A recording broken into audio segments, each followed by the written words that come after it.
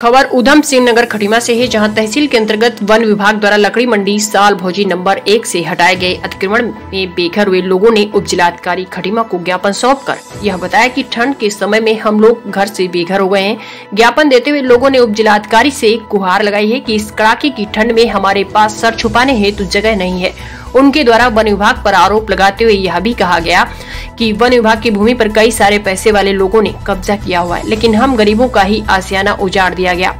One विभाग द्वारा इसी क्रम में उप जिलाधिकारी खटीमा रविंद्र बिश्ट ने सभी लोगों को आश्वासन दिया कि बहुत जल्द आप लोगों के लिए शीतलहर को देखते हुए वैकल्पिक तौर पर रहने वाले खाने की व्यवस्था की जाएगी। उप जिलाधिकारी रविंद्र बिश्ट ने डीएफओ वन विभाग हल्द्वानी से दूरभाष के माध्यम से वार्ता कर जब तक स्थायी रूप से लोगों के रहने की व्यवस्था नहीं होती है, तब तक लोगों को त्रिपाल लगाकर उसी स्थान पर रहने दिया जाए। साथ ही लोगों को निर्देश दिए कि कोई भी पक्का निर्माण नहीं करेगा। यह एक वैकल्पिक व्यवस्था है क्योंकि शीतलहर चल रही है और इस समय प्रशासन यह नहीं चाहता कहीं पर भी शीतलहर ठंड के कारण जनहानि हो।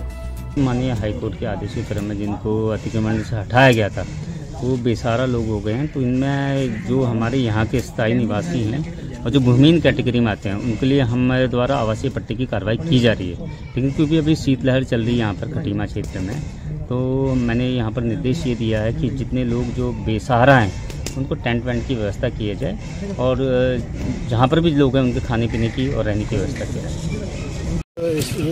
आए इस उद्देश्य थे कि ये लोग जो थे, साल मोजी नंबर एक में करीब करीब तीस साल से बसे हुए हैं। कच्चे घर जाला बनाकर अपना जीवन यापन अपना जैसे भी गुजारा बसर कर रहे थे।